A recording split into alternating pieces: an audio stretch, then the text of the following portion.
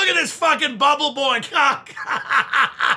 Trump won, motherfucker. What are you gonna do about that? Your wife is dead. You killed her. Ah, she's a cock. I can't believe this is all you served for Thanksgiving. I mean, seriously. We have everything we need. This is called being safe. This is responsibility. You're taking money from George Soros, you pig. I'm prepared to live in this for another three to five years. You're killing everybody, your wife is dead, and your daughter is a prostitute. The economy's good. My daughter's on OnlyFans and she's getting some real fucking traction. I'm your brother, and you want me dead? Is this what you want? You invented coronavirus with China to take out our leader, and I can't believe I can call you my fucking brother. You're a fucking Your wife is dead! I can't understand you not understanding what I'm saying.